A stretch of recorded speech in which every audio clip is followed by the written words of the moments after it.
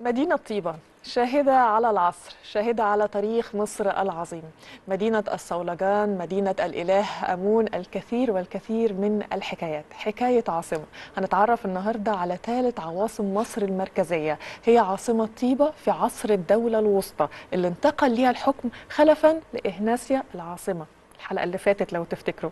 برحب بضيفي العزيز دكتور محمد فضالي المشرف العام على متحف عواصم مصر والعاصمة الإدارية الجديدة. منورنا يا دكتور صباح الفل. صباح الفل يا فندم صباح مدينة الصولجان مدينة الإله أمون الكثير والكثير من الحكايات انتقال العاصمة من إهناسيا إلى طيبة. الحكاية معاك. طيب آه مبدئيا كده خلينا نبدأ آه بظروف انتقال العاصمة من إهناسيا إلى العاصمة طيبة. زي ما اتكلمنا الحلقة اللي فاتت عن أفول مدينة أو عاصمة مصر في العصر الإهناسي اللي هي إهناسيا. وده الحقيقة بيرجع إلى في تنازع على السلطة ما بين قوى موجودة كانت في الشمال وفي مصر الوسطى وفي الجنوب. ولكن كان البيت الطيبي اللي هو كان في فترة الأسرة 9 و10 كان موجود الأسرة أسرة الأناتفة اللي هم أنتف الأول والثاني والثالث ودول كانوا بيدينوا بالولاء للأسرة الحاكمة في إهناسيا ولكن كانوا بيتطلعوا إلى الحكم. فقدروا مع مجيء منتحتب نبحبة رع إن هم ينتصروا على حكام إهناسيا لأن مصر حتى في التوقيت ده ما كانتش موحدة. كان بس الأسرة الاهناسيه مسيطرة على يمكن نقول الجزء الأكبر من مصر. أوه. قدر منتحتب بن بحيبه رع إن هو يهزم آخر ملوك أو حكام العصر الإهناسي اللي هو ميريكا رع ومن بعده نب كاو رع وقدر إن هو يوحد مصر. في الأول أخذ لقب اللقب الحوري اللي هو نب حج. بمعنى يعني صاحب التاج الأبيض. وبعد كده لما وحد مصر اخذ لقب سيماتاوي موحد الأرضين. فدي ظروف انتقال العاصمة. واسط بقى كمدينة الصولجان. بس سيماتاوي ده إحنا عارفين إن هو مع مع مين مع آه مع عرمر آه بالظبط كده. اهو ده هياخدنا لنقطة مهمة جدا م. إن المصريين قال له الملك منتحتب بن بحيبه رع في فترة من الفترات ويسموه بالمعبود الطيب أو الحاكم الطيب. وفي معبد الرمسيوم لقيوا الخرطوشة بتاعه منتحتب بن بحيبة رع ما بين مين؟ ما بين الملك ميني مؤسس ال ال ال ال الأسرة الأولى وهو العامل اول عصر توحيد لمصر القديمة يعني في الدولة القديمة ومين؟ أحمس مم. اللي هو برضه رجع وحد مصر مرة ثالثه بعد الهكسوس اذا هم دول ميني ونبحبة رع وأحمس هم الثلاث ملوك اللي قدروا يأسسوا عصور مصر القوية في الدولة مم. القديمة والدولة الوسطى والدولة الحديثة. طيب عشان برضو نوضح للسادة المشاهدين طيبة كانت إمتى عاصمة لمصر عشان ال... إحنا بنسمع عاصمة مصر طيبة أكتر من مرة وأكتر من عصر ومع أكتر من أسرة. بالظبط. طيبة أول مرة جت مع آه الأسرة 11 آه وقدرت توحد آه البلاد. المرة الثانية جت في الدولة الحديثة مع مجيء الملك أحمس وطرده الهكسوس وقدر إن هو ياخد من طيبة برضه لأن هي دي مسقط رأسه. أيوة. وقدر إنه ياخد منها عاصمة مرة ثانية المرة الثالثه وهي جت الحقيقة في الأسرة 22 وكانت الدولة المصرية في التوقيت ده بتحكم من ملك في الشمال اسمه بسوسنس الأول وبانجم الثاني كبير كهنه أمون أيوة. في الصعيد في الأقصر. فهي ثلاث مرات. بيتخلل الثلاث مرات دي مجموعة تانية من العواصم زي الليشت زي سخا أو خاسوت أو زي طبعا أواريس اللي هي بقى كانت الاحتلال اخذها عاصمة له في شرق الدلتا. وعشان يجي أحمس وتل العمارنة بعد كده ما بين أيوة. طيبة وطيبة آه. فيعني عندنا عواصم كتير. طيب هل إحنا برضو عشان نفكر الساده المشاهدين وهنتابع مع الساده المشاهدين برضو الصور اللي إحنا بنعرضها دلوقتي لكن فكرة إنه يبقى في عاصمة وفي مكان للحكم ساعات بيكون في عاصمة وفي مكان للحكم ده بيفرق في إيه؟ طيب حضرتك كده أخدتينا طبعا للنهج اللي كان بينهجه ملوك الدولة الحديثة مم. أو الإمبراطورية المصرية إن هم أخذوا من طيبة عاصمة سياسية ولكن عشان لأن ده كان مقر حكمهم آه. ولكن عشان يقدروا يسيطروا على كل الأراضي المصرية ويحموا الحدود بتاعتهم خصوصا إن الدولة المصرية كانت طالعة في التوقيت ده من فترة مجابهه الهكسوس وطرد الاحتلال قال لك يبقى هنعمل من منف مقر لتجييش الجيوش وإدارة برضو البلاد. وكان بيبنى آه، آه، مقر وقصر للحاكم وكان دايما الوريث الشرعي أو نقدر نقول الوريث الملكي لولي العهد يعني كان بيبعث إلى يبتعث إلى هذه آه، المنطقة أو أو أو مثلا منف ويقيم فيها ويقيم فيها ويعمل إيه بقى؟ ويشرف على الجيش. وكان الملك بيزوره من وقت للتاني وكانت تنطلق الحملات المصرية لتأمين الحدود من منف.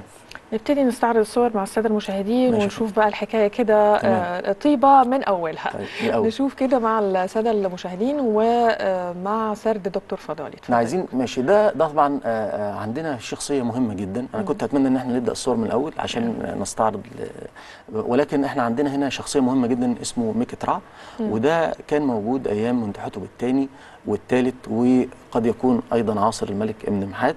في الأسرة. 12 ده الحقيقة نموذج ده نموذج لل طبعا لمركب آه. خشبي.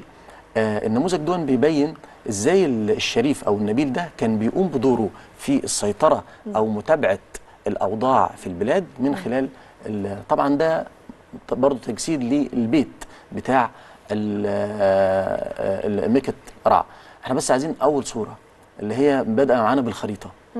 عشان نقول الموقع بتاع آه، طبعا آه، العاصمة آه. آه، طيبة وهي الحقيقة بتقع إلى الجنوب من القاهرة على مسافة 670 كيلومتر. مين عندنا اللي أسس. مين عندنا اللي أسس طيبة هو طبعا الملك منتحتب الثاني مم. الملك منتحتب الثاني قدر هوارد كارتر إن هو يعثر أو على التمثال بتاعه آه. لما الحصان بتاعه آه، اتكعبل في الأرض كده وسموها باب الحصان. كارتر ده معاه كل الصدف آه،. ومعاه توت عنخ آمون يعني مش. مع... ده محظوظ محظوظ جدا جدا فقدر إن هو يكتشف حتى الممر المؤدي للمقبرة بتاعه تحتمس بتاعه آه، عفوا منتحتب الثاني في الدير البحري. وبالمناسبة منتحتب الثاني كان له السبق إن هو يعمل طراز فريد في المعبد الجنزي بتاعه اللي اخذت منه بعد كده حتشبسوت وتحتمس الثالث وعلى فكرة آه. هتلاقوهم برضو جنب بعض. طيبة كعاصمة كانت آه، بترمز لها بالصولجان ليه سو... على- أو ده كان سؤالي ليه سميت مدينة الصولجان؟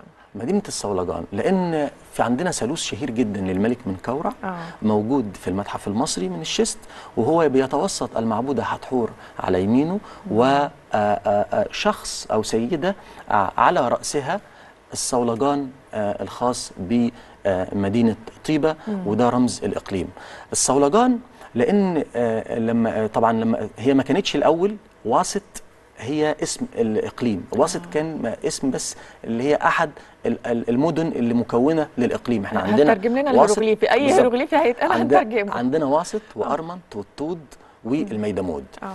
إنما واسط تحديدا ذاعت شهرتها بعد كده لما قدرت إن هي توحد البلاد. وحصل المزج ما بين الواس الواس اللي هي علامة الصحة أو السلطة وما بين الريشة الريشة اللي بترمز للغرب أو المتوفيين أو الموتى وبيربط ما بينهم اللي هي. بتطير، آه، بالظبط أيوة. بالظبط آه، العام في فهو. هنا قال إيه؟ قال إن الواس هو رمز طيبة الشرقية اللي هي مدينة الأحياء. والريشة هي رمز طيبة الغربية اللي هي سماها امنتت أو طريق امنتت أو امنتت واسط غرب طيبة ودي اللي كان بيدفن فيها ال- الموتى. واسط لها أسماء كتير جدا اسمها وسرت بمعنى القوية. اسمها نختي بمعنى المنتصرة. اسمها إدوا كاسترو اللي هو آه، آه، القصرين. وده لما جه في العصر الروماني عملوا معسكرين في شرق وغرب أو شمال وجنوب معبد الأقصر آه. وحولوا المنطقة لمعسكر عشان كده يعني. أنا شايفة برضو المسميات كتير لكن هو إحنا جبنا منين اسم مصر المحروسة يعني في كلمة برضو المحروسة ده هل بي... له له تاريخ آه، مصر هو- القديم هو لا هو. ولا مصر تطور مع الوقت؟ هو تطور مع الوقت ومصر المحروسة يعني إحنا دايما مصر في, في فترات إحنا بنشوف الإمبراطورية المصرية آه. ب... بمثلا عندنا في فترة التوحيد الأولى وكان المصريين نفسهم بيحبوا التكامل. بيحبوا الوحدة. فلو استعرضنا زي ما إحنا بدأنا كده حلقاتنا بمراحل التطور السياسي وتوحيد الأرضين. آه طبعا دي مناظر بقى جميلة جدا عندنا لمجموعة مقابر الملكات أو آه زوجات الملك منتحتب زي ما إحنا شايفين نثبت بس كده على الصورة دي زي ما إحنا شايفين كده آه ده منظر للملكة كويت مم. الملكة كويت وهي بتقوم بشم زهرة اللوتس وبتاخد نوع من الدهان وهنا ال- ال- الرفيقة بتاعتها بتقوم بالتهوية عليها آه. بجناح آه، أوزة. آه، كان عندنا ال- الملكة كويت والملكة عشيت. آه، وهنا طبعا آه، دي كان ده آه، تابوت للملكة آه، عشيت. آه، وكان التوابيت هي بتدينا صورة. إحنا متعودين في الدولة القديمة إن المقابر هي اللي دي هنهنيت أو هنهنت. آه، آه، التوابيت اللي المقابر كانت بتدينا الصورة حية للحياه اليومية. في ده عصر الدولة الوسطى هي طيبة حدودها فين؟ طيبة حدودها فين؟ إحنا قلنا طيبة إن هي بتبعد إلى الجنوب من آه، آه، القاهرة 670 كيلومتر وهي آه، هي الأقصر؟ هي ما- وهي الأقصر آه. من محافظة قنا وبيجي النيل وعندها بينسني آه اسمها قنا جت من الكلمة المصرية القديمة قني قني بمعنى يحتضن والإنحناء اللي في نهر النيل دي ادتها ميزة استراتيجية إن هي قربتها من البحر الأحمر من خلال طرق واصله ومؤديه وكان كمان في الانحناء دي كان في فرصة إن يبقى في مجموعة من الجزر ادت آه، طيبة ميزة تنافسية في التواصل ما بين الشمال والجنوب إحنا ما اديناش طيبة حقها ولسه خالص. هنكمل فيها يبدو. كده الحلقة اللي جاية. نكمل آه، مع حضرتك يا دكتور. محمد إن شاء الله الحلقة اللي جاية حكاية عواصم مصر سواء طيبة أو لو حابب. إن أنت تنتقل طيبه منها عشان يعني نكمل. وهن وهن وهنبدأ في واحدة تانية إن شاء الله خلاص ننتظر ده برضو يعني إيه خلينا نقول دي آه، تشويق كده للسادة المشاهدين. خليكم معانا الحلقة اللي جاية مع دكتور محمد فضلي المشرف العام على متحف عواصم مصر والعاصمة الإدارية الجديدة الحلقة اللي جاية هيقول لنا حكاية جديدة من حكايات عواصم مصر. بشكرك شكرا جزيلا. شكرا.